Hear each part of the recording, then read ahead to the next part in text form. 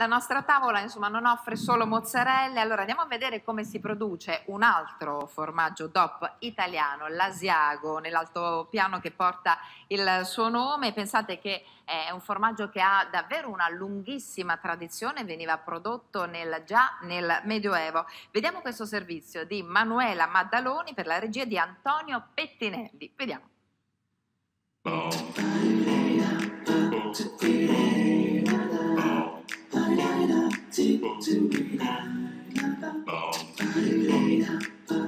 Questo è uno dei più antichi caseifici di produzione di Asiago. Sì, questo era un antico caseificio turnario. Dopo la prima guerra mondiale è stato trasformato in caseificio sociale, cioè in forma cooperativa. Qual è il segreto dell'Asiago? I segreti dell'Asiago sono tanti. Innanzitutto è un formaggio che eh, è fatto in questo ambiente incontaminato, con un latte di tipo particolare, un, latte di montagna e tanta tanta tradizione.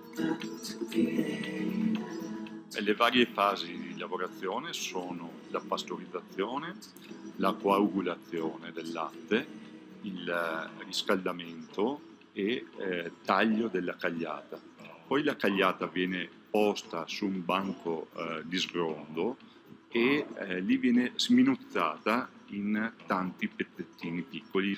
Si mette il sale, da lì la cagliata viene posta sui, sugli stampi microforati e pressata. Il formaggio è praticamente fatto, viene posto su queste assi di abete rosso e stagionato per circa un mese.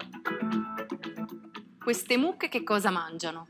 Beh, mangiano un'infinità di erbe fresche di tipi diversi. Qui c'è una biodiversità incredibile. Quindi al di sopra dei 600 metri noi abbiamo un'infinità di pascoli e di malghe dove nasce proprio l'asiago DOP prodotto dalla montagna. E questa biodiversità si riflette poi nei sapori e nel gusto del formaggio.